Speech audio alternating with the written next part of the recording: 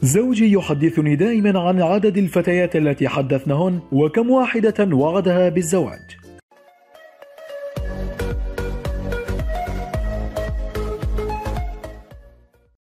متابعي قناة التعرف الأعزاء في كل مكان مرحبا بكم.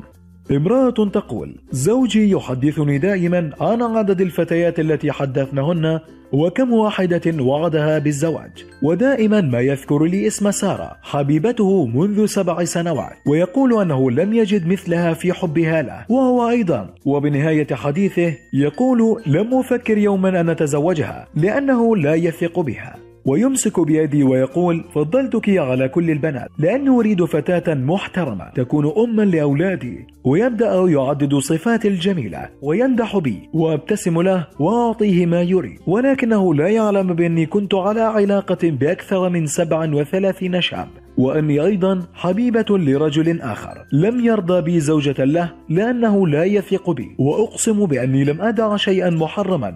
أو مكروها إلا فعلته. أقول هذا في نفسي طبعا ولا أستطيع أن أخبره فهو يظن أني كنت فتاة محترمة وصالحة. إلى أن يقوم بتركه وهو يتكلم وأنا أبتسم له وأشعر بلذة الانتقام منه لأنه خدع العديد من الفتيات ومن حبيبي الذي تركني. كلم فتيات كما تريد وهددهم وعلق أخريات فيك وحدثهم عن طريق الكام اعمل ما شئت وإن أردت الزواج اذهب واخطب ابنة المؤذن وستحصل على ما زرعت فكما تدين تدان. لهذا إخوتي اتقوا الله. ومن أراد منا زوجة صالحة أو أرادت زوجا صالحا يجب أن نصلح من أنفسنا أولا. واعلموا أنه كما تدين تدان. رجاء شارك الفيديو مع أصدقائك قد تكون السبب في هدايتهم.